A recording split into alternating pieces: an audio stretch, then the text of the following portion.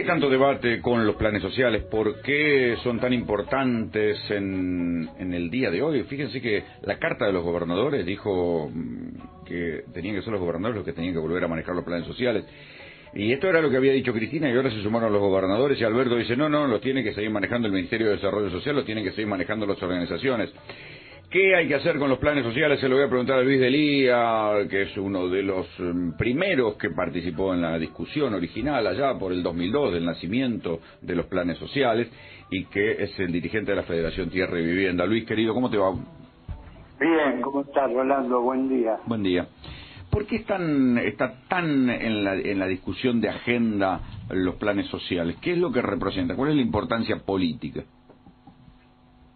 Bueno, yo yo creo que están discutiendo el 2023, ¿no?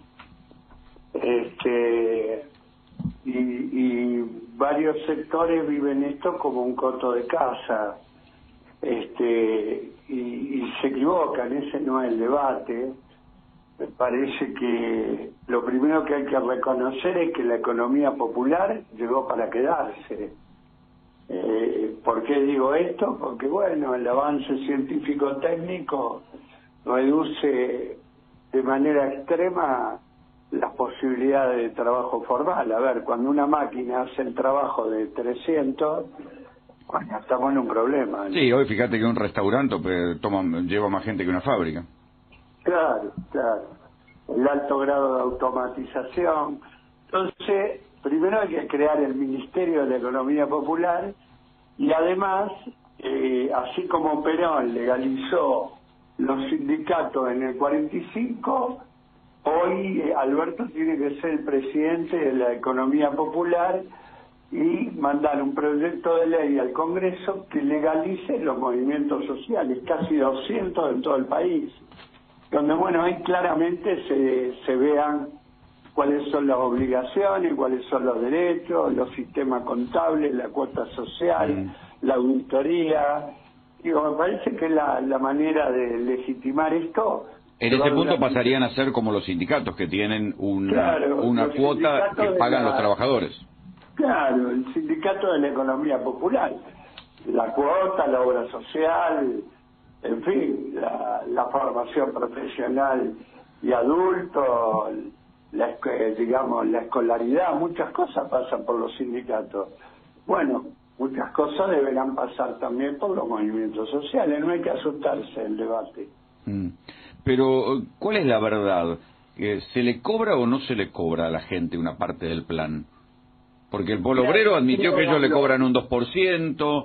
Eh, mm, nosotros hemos presentado cámaras ocultas donde hay gente que se queda con una parte del plan, pero supongamos que son casos marginales cuando no hay ley, lo que hay es la selva, ¿entendés? Como hay un enorme vacío legal y hay necesidades reales de financiamiento, a ver, este, entonces eh, viene la selva y vienen los vivos. Vos me habrás escuchado en un debate público salir a denunciar yo mismo a algunos integrantes este, de movimientos sociales que no solo le cobraban a la gente, se les quedaban con la tarjeta de débito para cobrarle a la gente. Digo, lo que agrava las cosas. Sí, sí, por eso, por eso digo, por eso tenés como un grado de legitimidad, porque has criticado también el, clientelismo y los abusos, ¿no?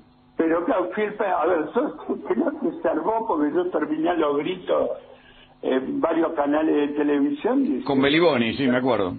Claro, terminé diciendo, no se puede sacarle 3, 4 mil pesos a la gente. A ver, eh, la gente pobre no tiene por qué financiar la iniciativa política de los partidos políticos de determinado sector. Este, y bueno, eso no pensé que iba a terminar en un debate tan grande. ¿no? Sí. Pero entonces, ¿qué habría que hacer? ¿O qué se podría hacer? Hay que meter un proyecto de ley en el Congreso, ojalá que varios diputados se ocupen de esto. Yo este, hoy quedé con un equipo de politólogos en empezar a, redactar un proyecto de ley que le dé marco regulatorio a los 200 movimientos sociales que hay. ¿No había un proyecto de ley de economía popular en el Congreso? Eso, claro, pero eso es más abarcativo. tiene que haber uno para la economía popular y este específicamente para las organizaciones. ¿no? Mm. ¿Y qué diferencias tendrían con un monotributista o con un autónomo? Y mira, yo, a ver, eh, una, algunos meten un debate falso, proponen universalidad para que no haya más organización, ¿no? este, y vos al pobre, al tipo que está siempre al al límite del precipicio, le tenés que dar la posibilidad de que se organice, ¿no? Bueno, esto, los sindicatos tardaron prácticamente 40 años en legalizarse en la Argentina, un poco más, ¿no? Sí, claro. ¿Y por qué estabas tan enojado con Cristina? Bueno, el trato que nos dio tratarnos de misógenos y de ladrones es un trato inmerecido para los movimientos sociales que durante 21 años hicimos tanto por, por la patria, por el pueblo, por Néstor, por ella. Digo, quiero, que, quiero creer que fue un exabrupto, ¿no? este, pero realmente generó muchísimo enojo, ¿no? Sí, ¿Cómo pensás que sigue el debate ahora? Bueno, hoy nos vamos a juntar varios dirigentes a conversar a ver, con mi querido compañero Alderete, a quien, por quien tan, tengo tanto afecto y reconocimiento y nos vamos a sentar a charlar después de muchísimo tiempo. Que hoy es diputado, ¿no? Hoy es diputado nacional, sí, sí.